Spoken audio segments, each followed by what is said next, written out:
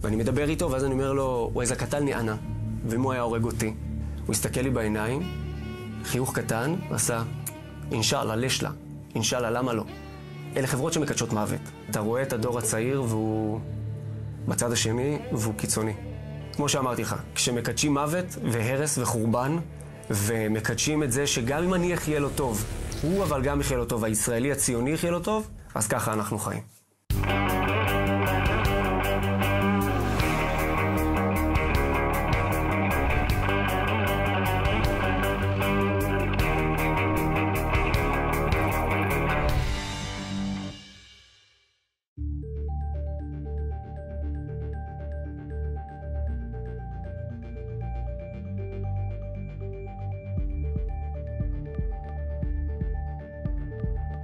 עמרי חיים, כתב התחום הערבי, כאן 11, מה המצב? ברוך השם. קולגה, חבר, שמסקר באומץ את מה שאנחנו לא מצליחים להבין מהצד השני. אה, בזכות הידע שלך למעשה בשפה הערבית, עוד מהשירות הצבאי, לא נרחיב גם על זה, אבל למעשה אתה מכיר את החברה הערבית, קורא אותה, מבין אותה, גם את השפה וגם את התרבות. אם הייתי שואל אותך, מה הדבר שלמעשה אנחנו כחברה ישראלית הכי מפספסים בהבנת החברה הערבית?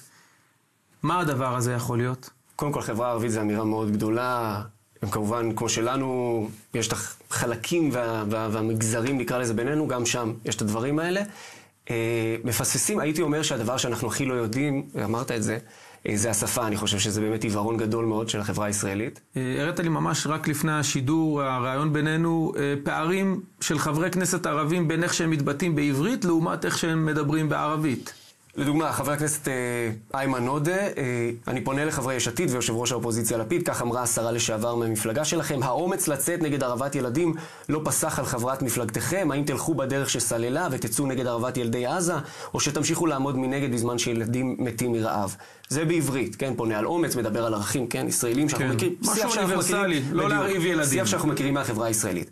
בערבית, על אותו אירוע, הוא כותב את הדברים האלה, כן, את מה שהוא אמר בכנסת, אמרתי בכנסת, והפושעים השתגעו וגם הורידו אותי מהדוכן, סופם של הפושעים לא יהיה שונה, מסופו של כל פושע בהיסטוריה. כשאני צופה באל-ג'זירה, כשאני צופה באל-מיאדין, בכלי תקשורת ישראלים, ערבים ישראלים, בכלי תקשורת פלסטינים, אה, אה, יש המון מטענים לאומניים ששקועים שם. למשל, אה, כך דוג... אני אתן לך דוגמה, אה, כשיהודים עולים להר הבית, למשל, כן.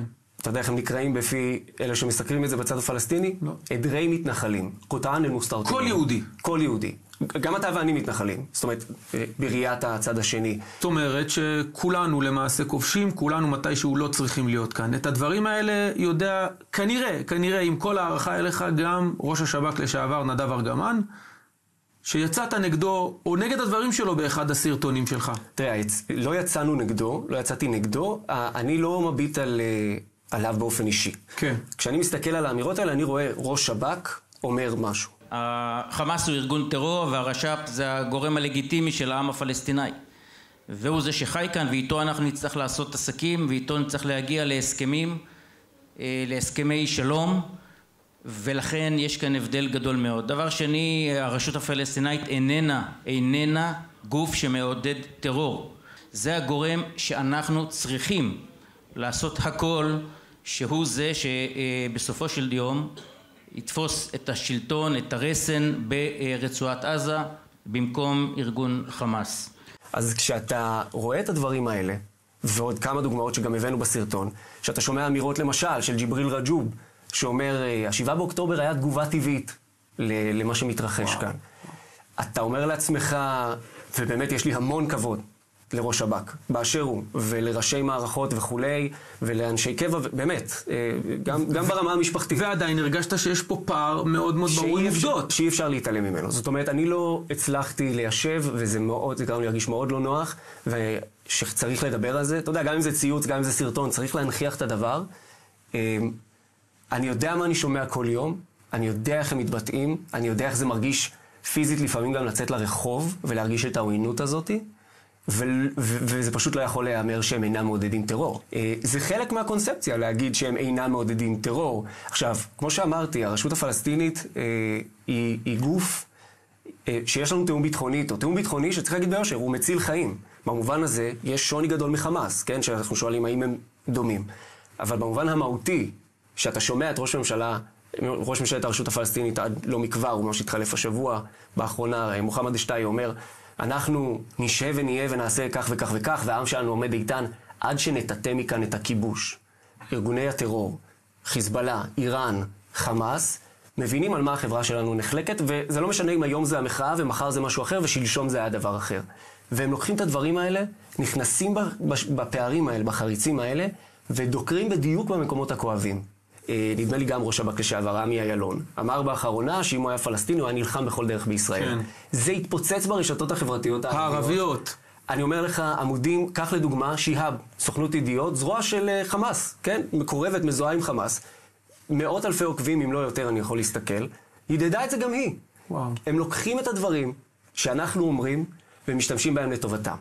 שאלה לסיום, והיא קצת לא מהזווית העיתונאית שלך, יותר מהזווית האזרחית שלך, גם כמשרת אה, מילואים באחת מיחידות המודיעין, וגם כאזרח וגם כמישהו שמתוקף תפקידו מסתובב הרבה. אמרת שבסוף אנחנו חברה חזקה. לתחושתי, לתחושתי, וככה גם אני הייתי קצת אה, כמה חודשים בח'אן יונס ועזה, מרגיש לי שהם לא רואים אותנו כחברה חזקה. אדרבה, הם ממש יודעים לדקור את העיתוי הנכון ובו לפעול. כמו שאנחנו יודעים על פי מידע מודיעיני, את השבעה באוקטובר הם תכננו כמה פעמים, והם ראו שהפילוג בינינו עולה ומצאו את שעת הכושר. אני חושב שהם לא מבינים כמה אנחנו חברה חזקה. אני חושב שהם, אה, אתה יודע, נסראללה אז אמר אוהל מן בלתי אל אנקבוט, כן? חלשים יותר מקורי עכביש. כן. אה, הם, הם מזהים את הפערים, כמובן לכל חברה יש חולשות, לכל חברה יש פערים ו, ונקודות תורפה. הם נכנסים לשם, אבל... קח את הדוגמה הכי פשוטה. אנחנו בשבעה באוקטובר, כמובן חבל שזה קורה כשאנחנו... כן, כל כך כואב לנו בשעה כל כך קשה. התאחדנו בצורה, יש לי צמרמורות ממש, אתה שואל אותי כאזרח, כ... בצורה מפעימה, כן? במילואים שלי, במילואים שלך, אנשים פשוט לבשו את המדים, אנחנו יודעים שאנחנו חלוקים לחלוטין, כן? אבל כולנו התאחדנו כאגרוף ברזל, באמת, אתה יודע, זה נשמע קלישאתי, כן. מול הדבר הזה.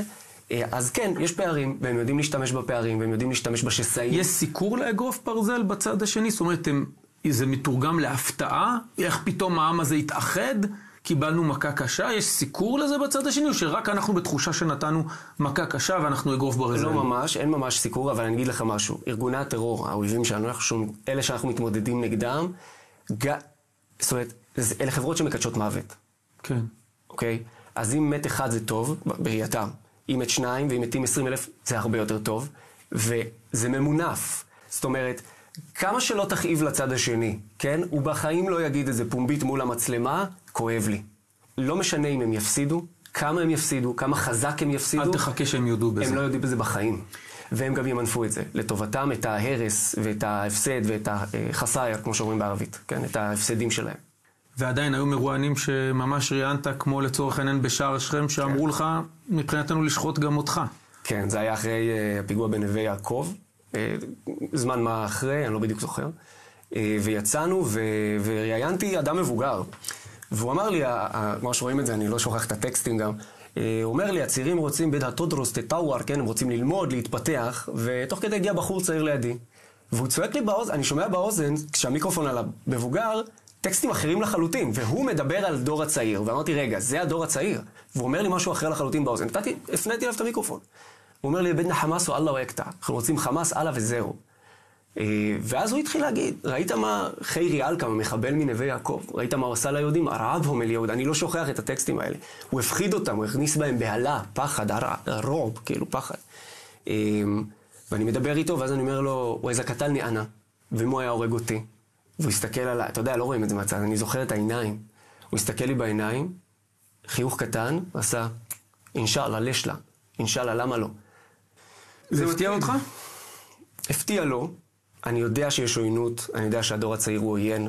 זו לא הפעם היחידה שהייתה סיטואציה מהסוג הזה, גם באזור בית לחם הייתה לנו סיטואציה מהסוג הזה וכולי, לא עליי, על איש צוות, היו סיטואציות, זה לא נעים.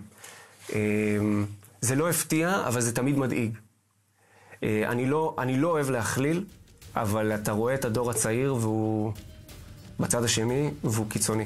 בטל סבע חיירי עלקם. سبع ناس ابرياء مدنيين طلعوا من الكنيس لو كمان لو قتل كمان احسن قتل قتلني انا